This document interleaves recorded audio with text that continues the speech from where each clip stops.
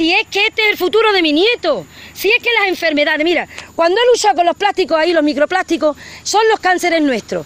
Y cuando luchamos con las aves, son los que nos van a salvar de morir de las enfermedades que vienen de África. Van a matar a los mosquitos porque se lo comentó, igual que los venceos. Cuando luchamos por la naturaleza, no es porque te guste, es por el futuro, pero que no es porque te guste, que es por el futuro, que estamos acabando, que estáis acabando ustedes con una especie. Ustedes, no la gente, ¿eh?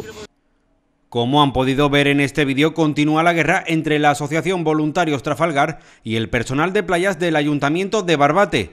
Y es que desde la Asociación Ecologista continúan denunciando que el tractor de limpieza de playas sigue transitando por un lugar incorrecto y que este hecho pone en peligro la reproducción del chorlitejo patinegro.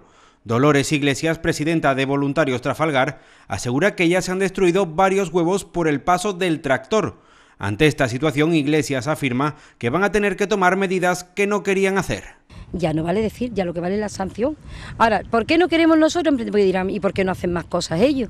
Pues porque lo que tememos es que si, si, si hacemos lo que queda, que es lo único que queda, que es denunciar a quien hay que denunciar, que es a la demarcación de costa y al Seprona, la sanción va a venir para el pueblo y por desgracia una vez más vamos a tener que pagar nosotros el que personas, que ya estamos viendo cómo son, que van a seguir haciendo el trabajo mal, sigan haciéndolo y nos sancionen por algo que ellos hacen mal.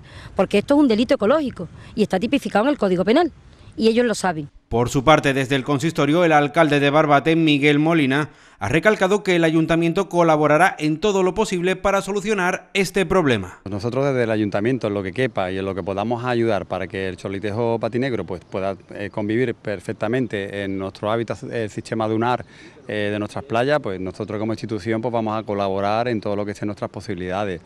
Eh, eso es lo que vamos a hacer. Sí es cierto que tenemos también que, y se le dan las instrucciones a, los operarios para que podamos hacer la limpieza diaria de nuestras playas y que, bueno, que no, que no afecte pues al desarrollo de, estas aves que bueno, que hay que protegerlas y que nosotros como administración pues tenemos que estar muy pendientes de ello. Mientras esta situación no se soluciona, desde la Asociación Voluntarios Trafalgar han decidido poner piedras como estas en el camino por el que suele transitar el tractor de limpieza de playas, para evitar de esta manera el paso del vehículo por esa zona.